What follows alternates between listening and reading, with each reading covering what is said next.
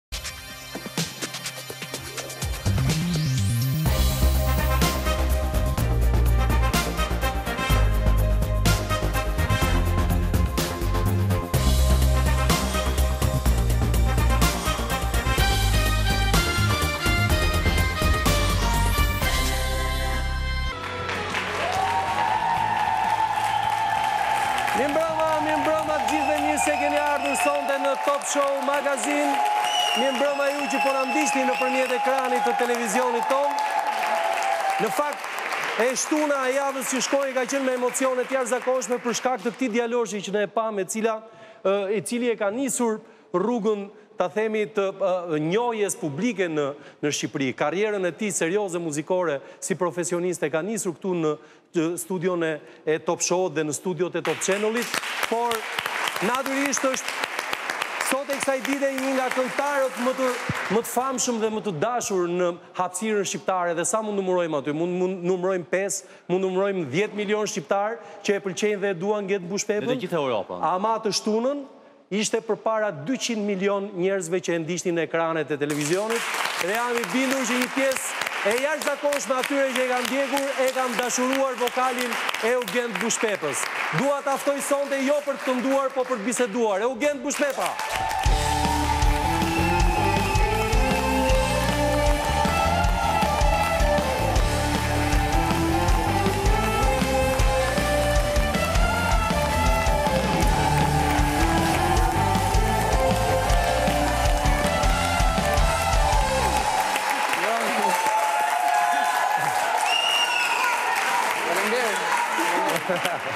Mirë se erdhe Gent edhe shumë urime për performancën tënde për të gjithë paraqitjen dhe natyrisht që i ke bërë krenarë shqiptarët me paraqitjen tënde atje. Ndonjëherë, ndonjëherë çmimi nuk ka fare rëndësi sepse kam idenë që kudo Që nga e diela që ti u ktheve dhe deri më sot, ty gjithandej të kanë pritur si një fitues praktikisht, apo jo? Jam shumë i lumtur për këtë. Mirëmbrëma të gjithëve njëherë. Faleminderit për ngrohtësinë. Është shumë gjë e bukur të rikthehem Top Show mbas kaq kohësh. Më kishte marrë shumë malli, të them drejtën. Edhe neve na kishte marrë malli për ty, kështu që. Tamam. Tamam u bë. Një javë andej, ç'bëhej nga Portugalia. Ëh? Kjo Ç'bëhej nga Portugalia, nuk e di, e ke parë Portugalinë apo s'pate mundësi ta shikoje? Kishim mundësi që të dilnim, të lëviznim një çik. Ishin shumë mikpritës, si puna jonë. Ishin gati të njëjtë me shqiptarët, portugezët. Vendi ishte shumë i bukur, shumë histori, arritëm të shohim ca pika turistike shumë të bukura dhe. Prandaj nuk stonove ti, se u ndjeve si në shtëpi. Pikërisht. Po gjithë këngëtarët po konkurruesit. Edhe në Shqipëri nuk është se stonoj shumë. Jo, jo, nuk stonon asnjë.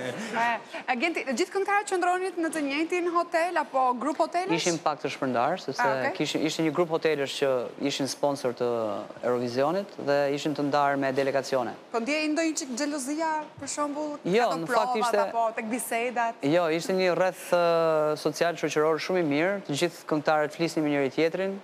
Domethënë ishin shumë shumë njerëz të dashur. Me ato që ne pamë në foto apo?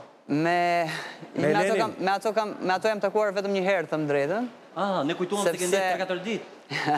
Jo. Ato ishin në një hotel tjetër në radhë të parë. U takove vetëm një me Elenin, por nuk ishte. Patëm një ftesë, patëm një ftesë nga delegacioni i Qipros që të njiheshim me Elenin, sepse unë s'e kisha takuar asnjëherë më para.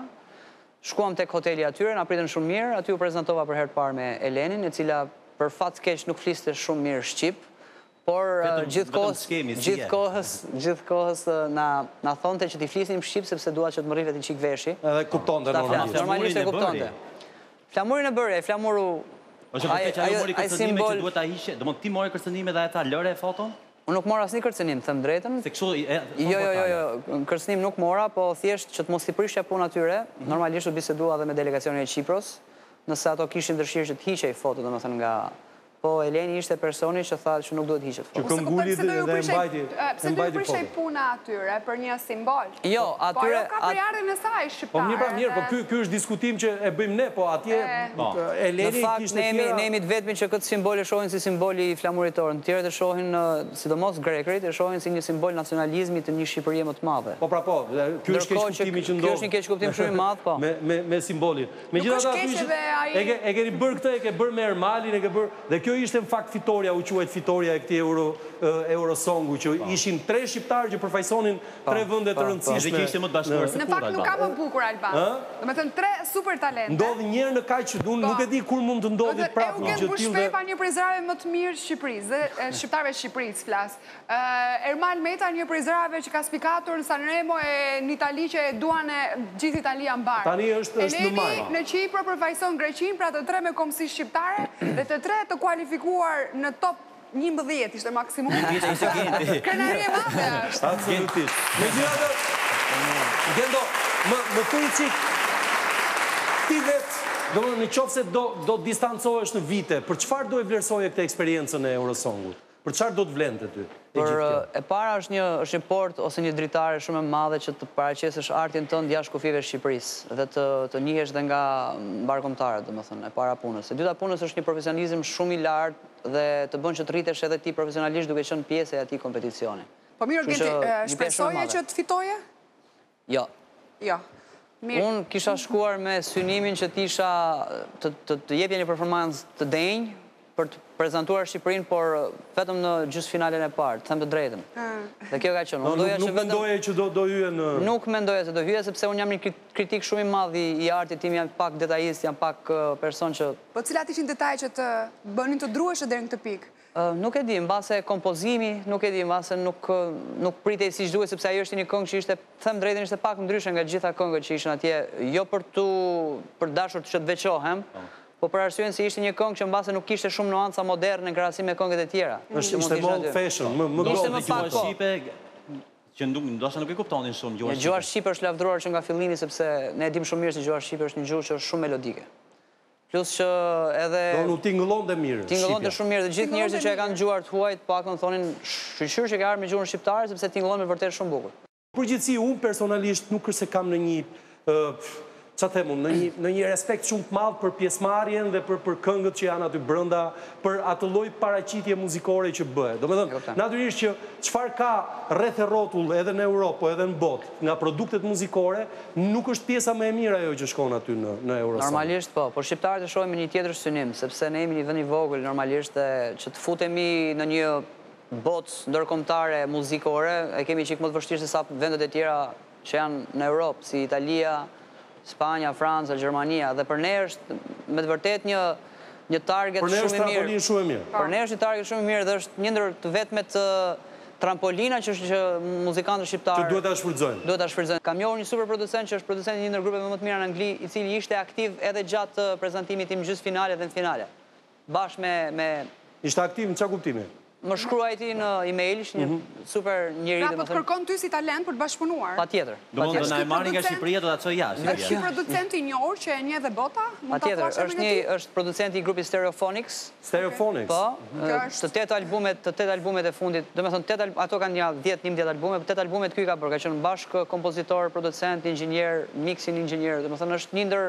Kështu që ti ke krijuar kontakt me këtë personazh. Kam krijuar kontakt me këtë personazh që është një nga fillimi. Dhe kjo mund të jetë mund të jetë fillesa fillesa e një e një bashkëpunimi dhe e një kapërcimi ta themi kështu. Po, po. Dhe i bie që muzika rock u vlerësoka në Europë, se i ka dalë nami që në festivalin europian vetëm duhet të vishesh me ngjyra, të bësh nja dy performanca edhe të fitosh çmimin. Varet, varet se si e sheh, varet se sa shtyllë kurrizore ke si artist. Në qoftë se ti duhet të jesh ke shtyllë kurrizore, ke një karakter të fortë tëndin dhe do të ta prezantosh veten ashtu sikurse je, Mund të dalësh mjaft thjesht prezantosh vetëm veten. Ka njerëz tjerë të cilët nuk arrijnë ta prezantojnë veten me artin, po e prezantojnë me lajlelule, me me me kërcime, me me pula, me Dhe fakti që fitoi pula për shembull, a të zhgënjeu ty që ta ndryshosh pak rrymën tënde muzikore që t'i përshtatesh dhe pak komercialitetit të Më Europës? bëri të humbas pak shpresën për muzikalitetin që kanë njerëzit sot e kësaj dite, për ato që Edhe ata përfithin. profesionistët, ë?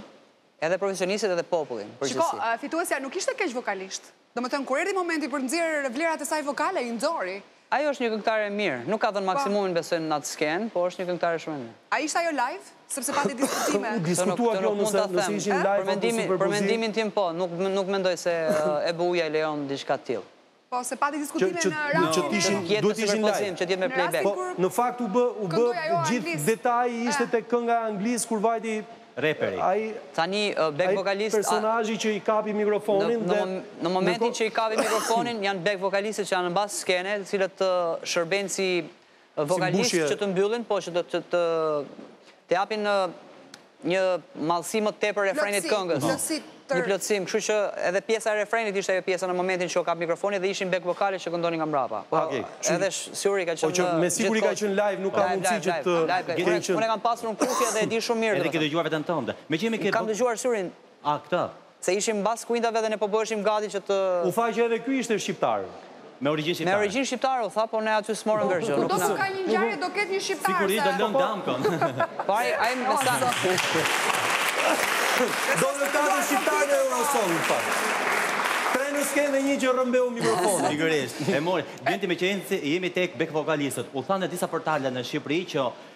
Performanca e Gentit mund të ishte, si vokal, absolutisht je më i miri që ne kemi çuar në këto vite në Eurovision. Por performanca jote mund të ishte më e kuruar për sa i përket veshjes, dukjes, back vokalistëve të ishin pak më funksional në këngën tënde etj etj. A mendon se ishte në notën dhjetë? Unë mendoj se ishte me notën dymbëdhjetë, në fakt, për mendimin tim. Unë, domethënë, çdo detaj që shihni aty në skenë është bërë në grup së bashku me gjithë teamin, me gjithë delegacionin që ishim, domethënë. Dhe unë kam qenë ndër të parë, duke qenë se jam dhe autori i këngës dhe i tekstit, kam qenë ndër të parët persona që kisha nevojë që të kisha një grup suporti Ndjeja një pjesë të familjes time aty në skenë. Përpos faktit. Ishe si i vetëm. Po, përpos faktit që edhe kënga është një këngë rock dhe normalisht i shkonte shumë që të kishte edhe një band rocku. Vajzat pastaj kanë bërë një punë të shkëlqyer. Ne kemi zgjedhur që mos të jenë shumë të dukshme. Të dukshme përpara, domethënë vokalisht, sepse kënga kështu ka qenë konceptuar që në fillim. Por puna që vajzat kanë bërë dhe basisti i grupit që bëri një pjesë të vokaleve, për mua kanë qenë shumë shumë të mirë. E more vesh që Kina të censuroi, ëh? Po dhe nuk e kuptova se pse. Ishte çështje tatuazhesh. E arrita ta kuptoj po dhe këngëtarja e Bullgarisë ka pas gjithë krahun me tatuazhe. Megjithatë doli atje. Dhe ajo doli. Nuk u censurua, kështu që s'e marr vesh. Mos censurohen vetëm tatuazhet e meshkujve, jo të femrat. Mbase janë gjelosë. Po kjo anti-reklamë, fakt ishte reklamë. Ishte reklamë nga ana tjetër. Genti, po i kthehemi përsëri atij komentit tënd që i druheshe pak llojit të muzikës që ti bën për t'u kualifikuar më lart në Eurovision. A është muzika ose lloji i muzikës që ti bën në të vërtetë pak lart larg asaj çfarë kërkon tregu muzikor, ndoshta dhe vetë Eurovisioni, vetë Europa? Në fakt, unë që në fillimet e mia nuk kam tentuar që të jem komercial dhe të shkoj mas shijeve të publikut. Unë jam përpjekur që të jap të tejçoj emocionet që kam në brendësi dhe këtë muzikë di të bëj, Po mos është modë e vjetër flas, mos është pak e vjetëruar? Mund të jetë e vjetër, po besoj që Unë jam më tepër, jam një djalë analog, nuk jam një djalë digjital. Unë, unë... Ose mund të jesh Bono Vox, në kuptimin edhe ai muzikë rock bën, por muzika e tij është aq e përpunuar, aq e sofistifikuar, aq moderne, aq komerciale të gjitha bashkë, saqë ke qefin më të madh ta dëgjosh. Patjetër, Bono Vox është, ato janë që nga fillimet e tyre, që nga fillimet e tyre, deri tani U2 kanë majtur të njëjtën linjë. Dhe e vetmja gjë që te atyre ka ndryshuar ka ndryshuar është mosha. Për mendimin tim ato sikur kanë qenë në tetëdhjetën, në vitet tetëdhjetë, po, në vitet tetëdhjetë ashtu janë sërish. Edhe kënga e njëzet e pesë viteve më parë tingëllon po kaq koherente, ndërsa këngët e rokerave flas në gjithë Europën tingëllojnë s'e di, sikur kanë ngecur. Janë pak old fashion thua Albana? Po. Jo, Albana po thotë se ato ndjehen janë edhe modernë në të njëjtën kohë dhe tani. Ato janë të parë tipa analog për mendimin tim.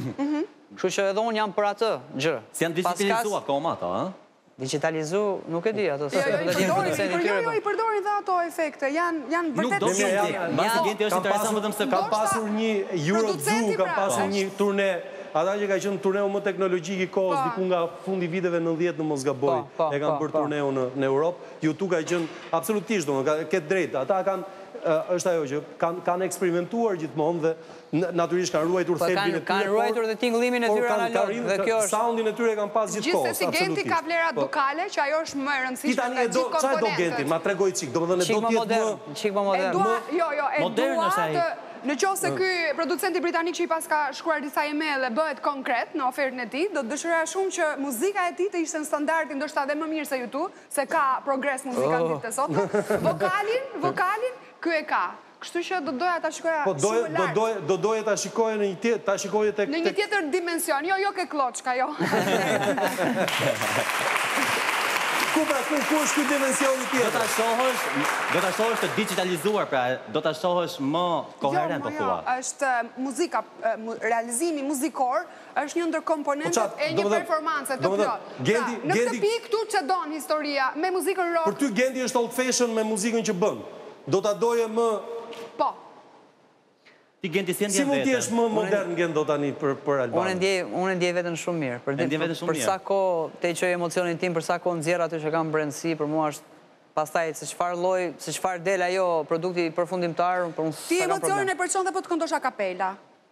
Pra, përmes vokalit tënd, s'i heq presjen, je një ndër zërat më të mirë shqiptarë. E kuptoj. Pra, pa diskutim. Po nuk jam vetëm performues, unë jam dhe kantautor, kështu që muzika... Jo, edhe ajo pjesë, domethënë, të bën edhe më të pasur artistikisht. Dhe muzika që unë di të bëj është kjo. Por që ka nevojë të zhvillohet kjo pjesë, e të bëhet më mirë. Jam shumë dakord me ty. Jam shumë dakord me ty. Edhe unë e mirëpres shumë teknologjinë, sidomos dhe tingujt e ri që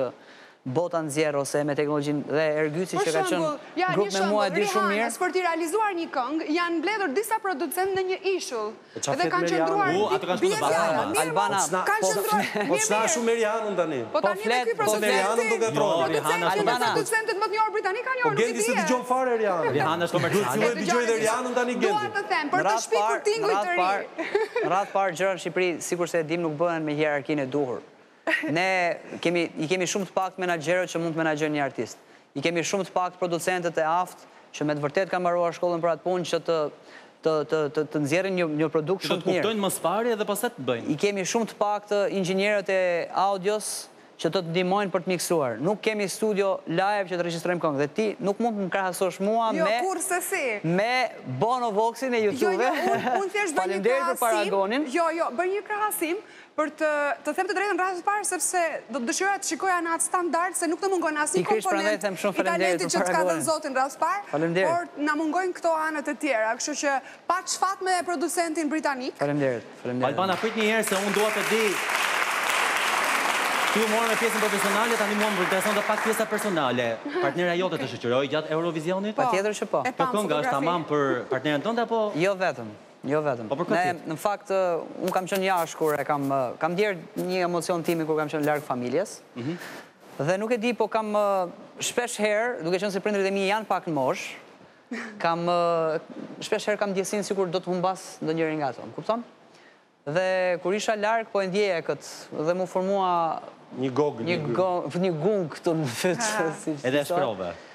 Dhe kisha atë mallin për familjen, mallin për njerëzit që doja më tepër. Dhe me t'u kthyer në Shqipëri duhet ta nxirrja këtë emocion, domethënë, më kupton? Dhe Se na preke tani me këtë. Po pra, u bë shumë serioze. Jo, jo, po ishte shumë prekëse. U bë xheloze ajo se ti je shpallur ndër dhjetë meshkujt më të bukur të Eurovizionit. Aspak, madje ishte shumë e lumtur.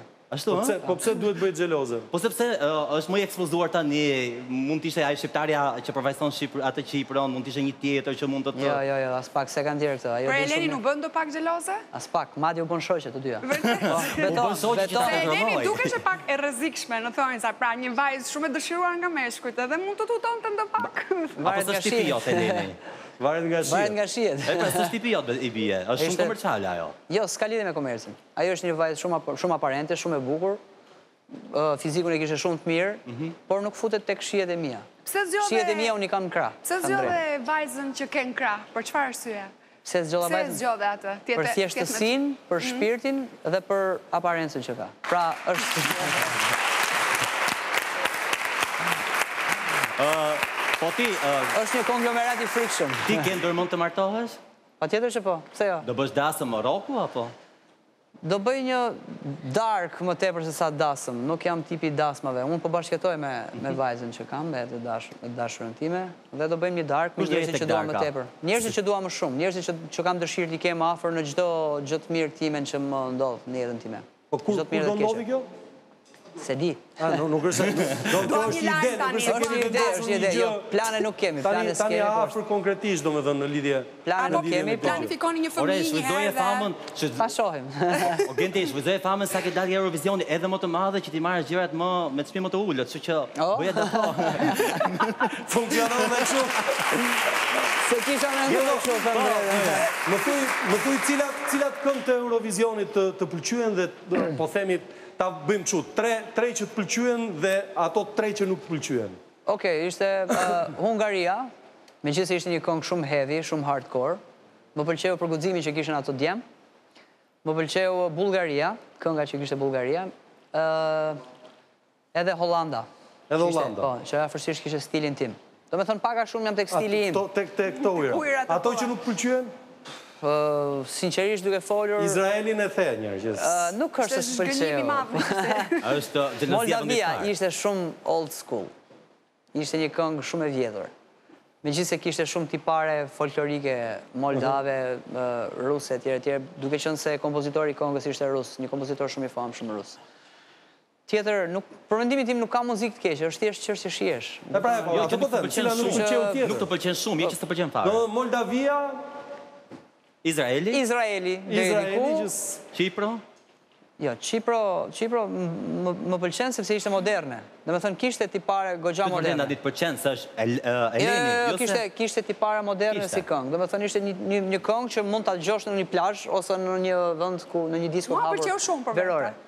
Të pëlqeu shumë kjo... Po, pëlqeu, Eleni. Mua s'më pëlqeu fare, të them të drejtën. Pëlqeu. Edhe mua më pëlqeu, Alban, të them të drejtën. Edhe ty pëlqeu.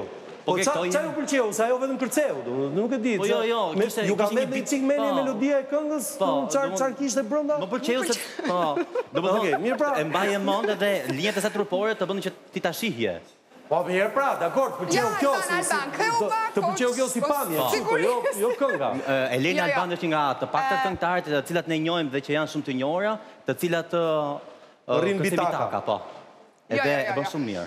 Rrinë mbi taka dhe Jo, jo, kërcen mbi taka. A kërcen mbi taka. Po, edhe provat i bën mbi taka. Po mirë, është balerinë, jo këngëtare. Jo, jo, Alban. Po atëherë ku ka më mirë se sa t'i përmbledhë të dyja në tjetër pjesë. Kjo ishte një version i Beyoncés. Është Shakira greke quhet. Më fal, i, ok, unë e shoh më shumë si Beyoncé, nuk e di nga looku, nga pamja, veçse vlerat vokale janë shumë të minimalizuara krahasuar me divën Beyoncé. Kjo është e vërteta. Ok, Gendi nuk flet këtu se tani i ka, e ka nusen shoqe me me këtë, kështu që s'mund të flasë keq fare. Për shoqen e ngushtë të nuses. Ok, po, juria popullore apo më mirë juria profesionale sipas teje? Për mendimin tim kjo puna e jurisë popullore m'u duk diçka e çuditshme, të them të drejtën. Po sepse ishte një rrokadë që gjërat ndryshuan në momentin e fundit. Për shkak të jurisë popullore. Për shkak të jurisë popullore. Nuk e di se sa e vërtetë ishte, të them të drejtën, sepse ishte hera e parë që bëhej dhe unë nuk e kisha Në fakt, në fakt kishte shumë peshë, domethënë lëviznin shumë. Kishte goxha peshë sepse ishin goxha pikë. Praktikisht Ermal Meta me me me Fabricion. Me Fabricion nuk, domethënë ishin morën shumë pak pikë nga juritë juritë profesionale dhe pastaj ishin juritë popullore që që Po, po ishte ishte pak e çuditshme e gjitha kjo situata po. Jo, se shiko, më përpara ka qenë ky debati që pikërisht këto juritë profesionale ia jepnin njëri-tjetrit. Po. Domethënë, dhe bëhej një lloj network-u dhe praktikisht fitonin ata që kishin më shumë network. Kuptoj. Ndërsa mendohet që juria popullore gjithsesi është më xhenuine, se fundi fundit mua më pëlqen një këngë dhe ia jap asaj kënge që më pëlqen, domethënë nuk rri të të mendoj shumë gjeopolitikë për për çmimin për çmimin që do jap. E drejtë është, po kjo ishte hera e parë që bëhej në këtë lloj mënyre, domethënë që nuk nuk dilnin të të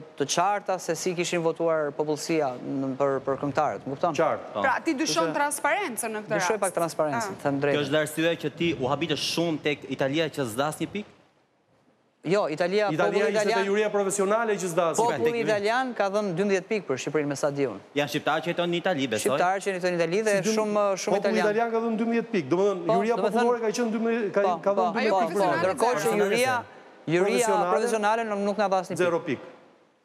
Nuk arrij ta shpjegoj. A ishte çështje PR-je përpara, a ishte çështje gjeopolitike apo është ndonjë hatërmbetje e tre viteve të fundit, sepse Italia s'po i jep pikë Shqipërisë ka tre vjet, tre katër vjet. Tre vjet që nuk i jep po, pikë po, Shqipërisë. Po. Edhe me Ermalin dhe prapë nuk i morën pikët e Italisë ne. S'e di, nuk arrij ta shpjegoj. Unë jam thjesht për po për performuar atje këto gjëra të prapa nuk i di. Si funksionon stafi? Janë votimin ndaj teje, më fal Alban. Nuk jam marrë shumë me pikët, Alban, të them të drejtën, thjesht ishte një ndër gjërat që më bëri çikë përshtypje. Oke. Domethënë nuk është, funksionon stafi nga mbrapa i cili duhet të kujdeset për këto marrëdhëniet me vendet e tjera, me ato vendet ku neve mund të sigurojmë pikë më tepër? Nuk jam, s'jam shumë i aftë të them se si funksionojnë gjërat mes delegacioneve, të them të drejtën, dhe kryetari i delegacionit tonë nuk është se ka diskutuar ndonjëherë për këto çështje me ne muzikantët. Kështu që jam jashtë krejtësisht kësaj gjëje. Mbase ka ka zgjedhur që mos më thotë gjë, duke duke parë edhe stresin edhe edhe gjithë Po kryetari kryetari i delegacionit i i ashtu i i orienton pikët që i jep Normalisht kryetari i delegacionit orienton gjithçka atje. Edhe edhe pikët që i jep për vendet që janë në konkurrim? Jo jo jo jo jo, po them Po them për PR-in, domethënë për për gjithë lidhjet, lidhje po, gjithë lidhjet që bëhen me delegacionet brenda për brenda dhe marrëdhëniet që krijohen brenda për brenda. Ajo çfarë bëhet brenda për brenda është një gjë, puna është si funksionon pjesa tjetër me juritë e vendeve të tjera. Nuk e di se sa janë të lidhur kryetarët e delegacioneve me juritë e vendit. Me juritë e vendeve të tyre. Kjo nuk e di, këtë s'arrij ta shpjegoj. Kjo është një gjë që mbetet për t'u parë, gjithsesi. Edhe në fund të kësaj ëndrre, si do ta gjykoje pjesëmarrjen tënde në Eurovision me tre fjalë? Profesionalizëm maksimal, që po e marrim si një fjalë këtë. Ë skenë shumë e madhe dhe emocion shumë i madh thjesht në atë skenë. Dhe them tjetër një një bukuri të ndjehesh i vlerësuar nga populli që që prezanton. Kështu që këto këto janë tre tre vlerësimet e Gen Mbaroi projekti Euro, Eurosong. Çfarë çfarë ndodh më pas? Çfarë cilat janë planet e afërta? Tani puna më e madhe sapo ka filluar, domethënë tani tani është puna më e madhe. Do të mundohem që të mbyll albumin me me me grupin tim, të kontaktojmë edhe producentin që të bëjnë një regjistrim sa më profesional dhe pastaj të shohim për ndonjë shtëpi diskografike dhe Producentin, po flasim gjithmonë për producentin britanik, po, apo? Po, për producentin britanik. Ju do mbaroni këtu punën me albumin dhe do e paraqisni atje. Mbaron gjithë puna e orkestrimeve, paraqiten demot fillestare tek producenti, ai jep gjurmën e vet, domethënë, jep gjitha detajet e veta se si mund të regjistrohen këngët, shkohet, regjistrohet kënga në studion në Bruksel, sepse mbajtëm dhe kontakte me studion që kishim mhm. në Bruksel, kur regjistruam versionin e dytë të këngës,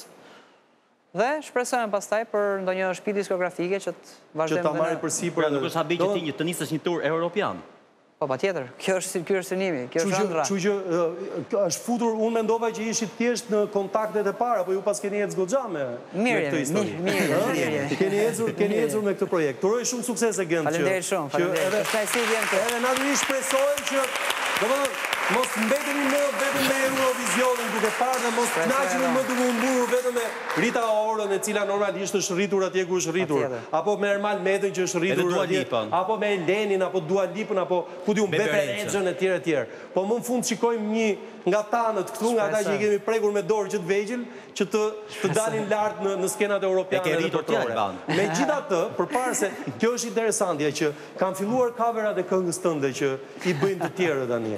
Dhe unë kam thirrur Pjer Noshin.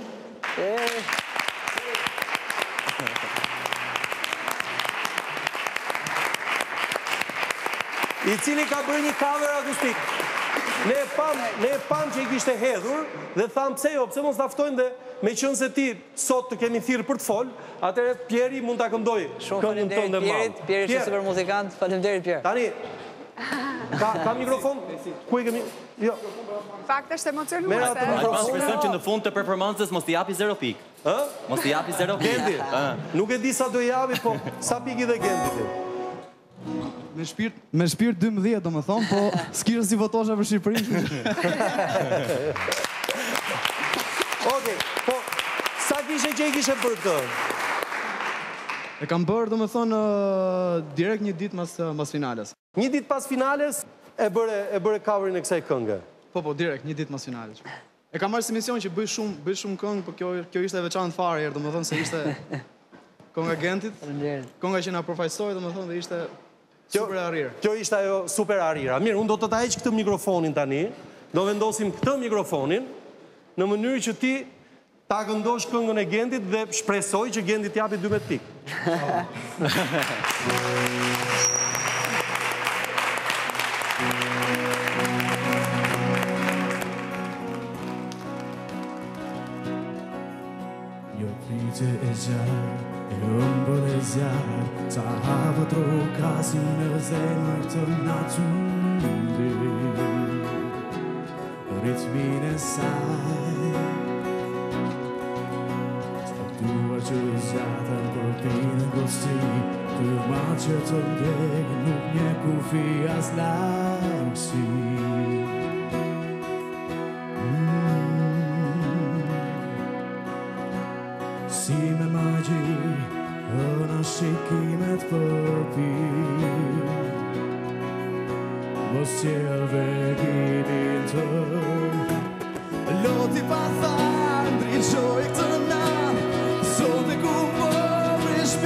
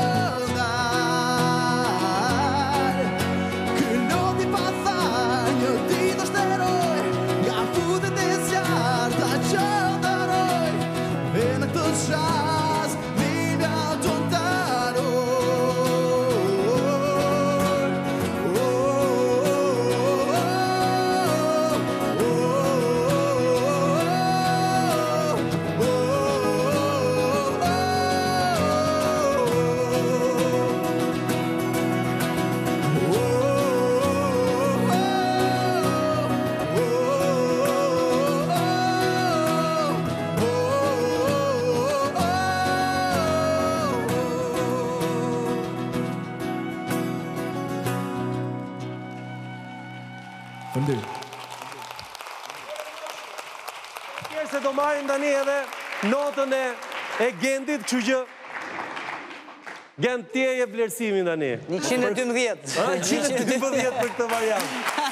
Faleminderit Pjer. Faleminderit Pjer. Shumë faleminderit. Rrosh Pjer. Rrosh, rrosh i gjatë. Mirë, edhe kështu të dy me zeza jeni veshur.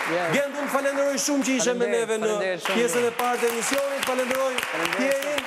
Do të vazhdojmë Dorin në shenjën e e muzikës. Do të vazhdojmë të flasim sepse ka pasur shumë debate gjatë kësaj periudhe në rrjetet sociale në lidhje me Eurosong-un në lidhje me mënyrën se si u votuan në lidhje me pjesëmarrjen dhe ata që janë prezent zakonisht në këtë, si? Edhe fituesen e shkretë. Edhe për fituesen e shkretë gjithashtu ka ka ka debate shumë që neve do t'i flasim këtu në studion e Top Show-ut pas pak, por jo vetëm kaq do të kemi një personazh tjetër, ka shkuar deri në gjysëmfinale në The Voice of Italy, një shqiptare e cila vjen këtu në studio te ne pas pak.